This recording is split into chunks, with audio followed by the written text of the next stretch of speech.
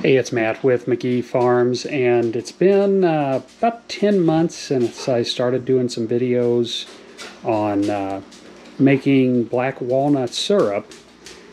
And uh, I got the first two steps down. I got it collected, I got it boiled, or the initial boiling done. I didn't get to the final boil, and you know, as a lot of you know, I've said before, uh, I do serve in the Navy, and uh, ended up getting called out, so I uh, was not able to get my final boil done. And when I got back, it was springtime, and uh, there was so much other stuff to do. So what I ended up doing is I've got these one gallon containers. We use these for honey, and uh, I got them good, washed, sterilized.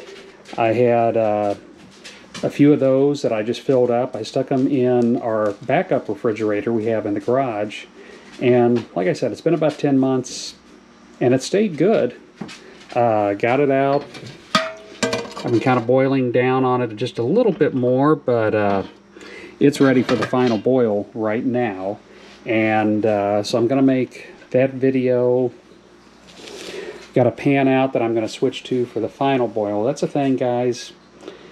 This is where you're going to basically piss off your wife if you're doing this and she's not on board because uh, uh, usually I like going to a smaller smaller pot makes it a little easier to control temperature wise but it does make a mess in that pot. Just, this one is one I don't drink soda but uh, being a southern boy I love my iced tea so this is what I make my iced tea in. And uh, you know it'll if a little's left in there it'll add some flavor to my next batch of iced tea but I'm getting ready first. I uh, ended up buying some more taps. Uh, and when we tap them, we basically will take a five gallon bucket. I've got a five gallon bucket lid. I drilled a couple of holes in. I have been getting surgical tubing and making uh, my own taps, but as you see this box right here, I ended up, and I'm going to put a link to this uh, on the notes, but uh, I got some that was already uh, ready to go. Plenty of taps, plenty of line, even came with a drill bit. Although the drills I use, uh, like I've got my impact driver already uh, lined up, so I use a different kind of uh, kind of bit so it'll fit in there. But uh, you know, this pretty cheap and uh, seems like it's made all right. So we're going to head out. I'm going to collect what I've been uh, getting the last few days because we've had a uh, abnormally warm December, and so for the last week or so, I've been uh, I've been getting sap, and I've got a couple of buckets out there. We're going to go add this one, and then while uh, I grab that, I'm going to start the initial boil on that while I make my final boil, and uh, add another bucket out there, and uh, try to finish this up, and then in the in the next week, I'm probably going to make some hickory syrup as well, and I'll be doing a video on that. So uh, let's turn the camera off and head on down. All right, I'm back. I got some sap that I'm going to start an initial boil on, but first I'm going to get uh, started on the final boil. With this, you want to have a thermometer, and uh, basically want about 219, 220 degrees, uh, you know, to uh, is where the uh, the final boil you want to get it up to. And uh, so I'm going to start pouring it in here. I'm going to put the thermometer in, and we're going to turn it on, and then we're going to start with uh, uh, the initial boil of the new sap. Right, we got it poured in. We got it all set up. I'm letting it uh, heat up right now. Once it starts getting close, I've got it on a the heat on high. Once it starts getting uh, kind of close, I'm going to back it down a little bit because I don't want to burn it. Uh, you get it too hot and it'll kind of burn a little bit and it'll end up uh, kind of getting a little bit of a burnt taste. It's still good, but uh, also Got some new sap that I just collected, about a half gallon. It's, uh, like I said, December, and it's un unusually warm right now, so being unusually warm, uh, uh, we're getting a little bit of sap flowing, so this will kind of give me a start on uh, on the season that really doesn't hit till late January here in Missouri.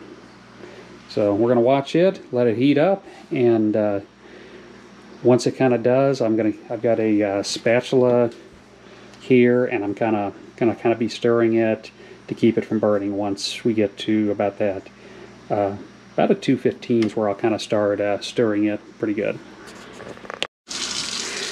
Okay, you see we are uh, getting close. We got a good boil going here. We're a little over 200. Like I said, we want to get to that 220. I'm going to turn it down just a little bit. One, I don't want it to boil over, but also I don't want to burn it.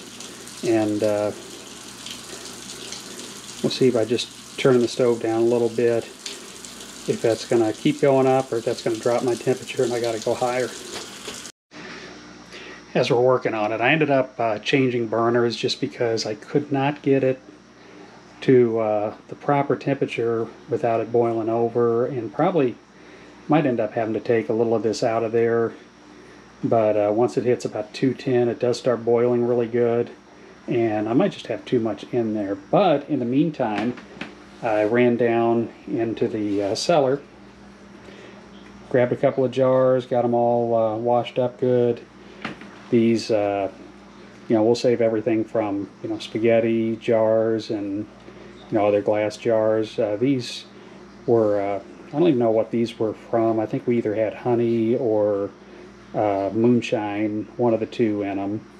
But whatever it was, uh, you know, we used it up and they were just sitting there. So got them washed and sterilized, and now we're going to use them for syrup. So hopefully with this burner, it'll be a little easier to control, and uh, hopefully we'll have uh, syrup here in a few minutes.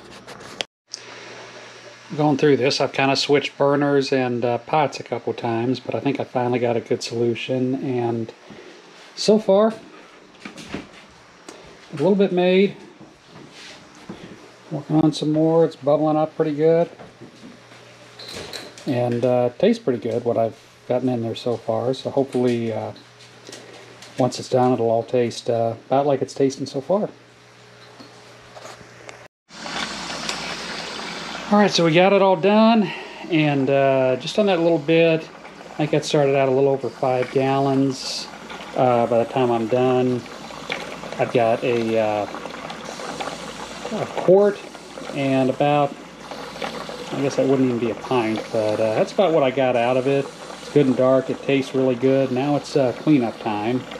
And uh, I've got to clean up this pot, so basically just going to wash everything in the pot. Figure I got the soapy water, just do it the easy way. But that's how I make uh, the black walnut syrup here we're going to be doing, as I said, some uh, uh, hickory syrup here uh, probably this week. And I'll shoot a video of that. That's super easy to make. You don't even tap it. You make it from the bark. But hopefully this helps. If uh, you have any questions, I'm far from an expert. This is about the third time that I've made this. But I tell you, it is delicious. If you've never had it, it's better than maple syrup. Uh, sometimes uh, I'll kind of mix it 50-50 with uh, honey in it. One thing, too, is, uh, you know, it's not thick like corn syrup. Sometimes you can get it thick, but uh, for the most part, you know, it's a little on the runny side, but that's, uh, that's all right. It still tastes good. It still goes on your waffles and pancakes, you know, just as well. So, hope you enjoy the videos. Matt from Magee Farms. If you uh, like the videos, they inspire you, help you out, please consider giving us a thumbs up, subscribing to the channel, or sharing it with your friends, leaving us a comment. All of that uh, is appreciated, and it helps the channel grow. Till next time, have a great day.